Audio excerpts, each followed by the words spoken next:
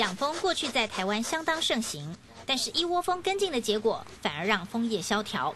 茂盛枫叶当时坚守本业，学习蜜蜂寻找花蜜的本事，把版图拓展到海外，让几乎停摆的蜂场再度活跃起来，规模增加了三十多倍，成为亚洲最大的蜂蜜原料供应商。既然做这一行呢，要转行又不容易，啊，然后我们就就就就到国外去去看看啊。刚好去泰国清迈那边有看到那边的环境很好，气候也好，哦啊那那时候那边的龙眼树很多，啊没有看到泰国人在养蜜蜂，说接着到那边清迈就发现那边真的是养蜜蜂的天堂。我们跟着来到养蜂场。陈奇还是跟平常一样到蜂场巡视。除了六十名员工，陈奇在全球有多达五亿个小小员工在帮他工作。这些辛勤工作的蜜蜂，就是茂盛最大的资产。我们大概有一万多箱了，大约五五六亿株左右。哎，目前像这样放的蜂场哈，在泰国那那边有将近一百多场，啊，在台湾有。十几场。开蜂箱，除了要清理过于密集的蜂巢，还要检视蜂王的健康状况，这是决定这一箱王国未来产量和品质的关键。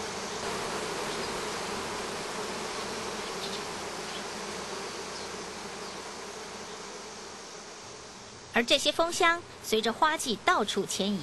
程奇说：“养蜂人家就跟游牧民族一样，哪边有蜜源就往哪边去。”太北花季不但面积大、产量多，而且不下雨，这样一个跨海的动作，就让茂盛蜜蜂数量增加了三十多倍。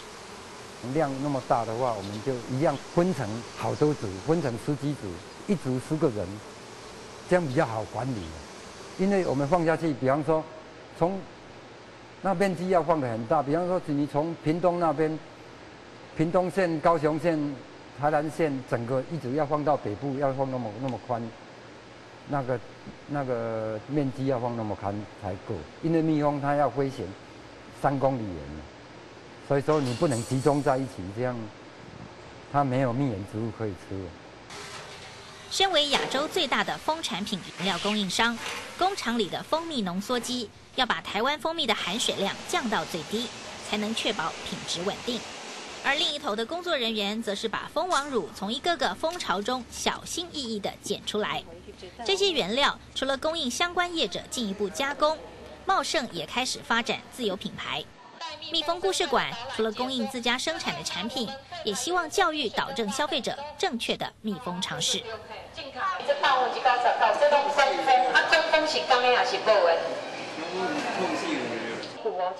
在蜜蜂故事馆中，导览是很重要的活动之一。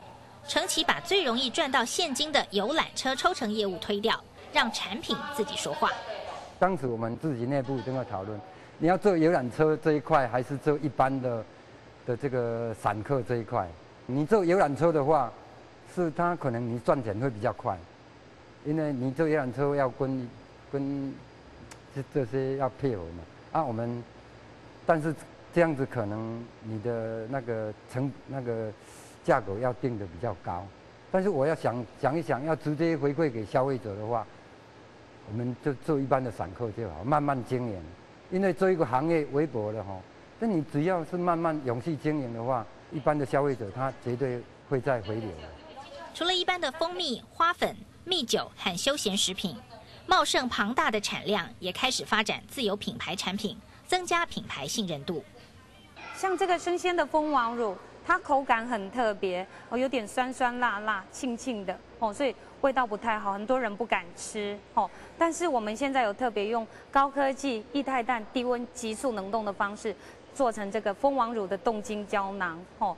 要做成一公斤的蜂王乳冻精胶囊，要三四公斤蜂王乳的原乳才有办法办得到哦。所以它的成分比生鲜的密集。像这一罐蜂王乳五百公克，都还没有办法做到这个蜂王乳冻精胶囊一半的量哦。哦，所以它的质量每一次检验报告出来。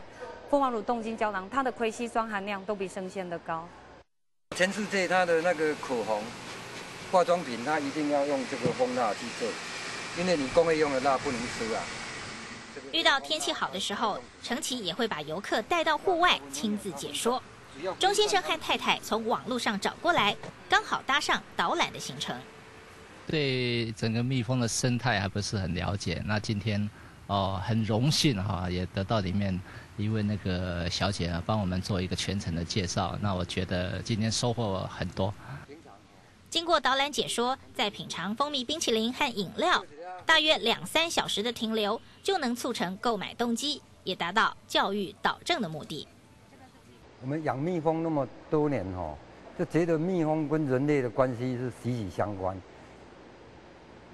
无论在农业上，蜜蜂授粉，在像在美国的话，它每年它可以增产到一百多亿台币，他们有有数据的报道，哦，所以说觉得这个蜜蜂，它今天对人类贡献这么大，所以说我创办蜜蜂故事馆，就是要一种教育先导意味，让消费大众都能够了解到蜜蜂跟人类就是这么重要，还有它的蜂产品。对人类健康又是息息相关，让人消费大众能够都了解到蜂产品的好好处。